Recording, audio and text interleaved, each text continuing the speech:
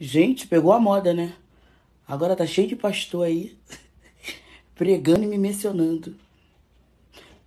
Aproveita, prega para as pessoas que se diz crente e que tá dentro da igreja, que anda com a Bíblia debaixo do braço e ficam escandalizando o nome de Deus. Continue na igreja, continuo buscando a Deus e é o meu pensamento e ponto. Agora, se vocês não gostaram, vai orar. Deus. Vocês querem aparecer? Ora Deus. Ora Deus. Ó, já vou dar logo um papo. Eu tô quietinha, na santa paz de Jesus.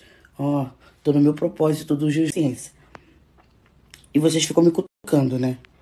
É um tal de Eliseu, é um tal de trovão, é um tal de não sei o que, é um tal de não sei o que lá. Quando eu começar a rasgar o verbo, depois vocês vão dizer que eu sou demoniada.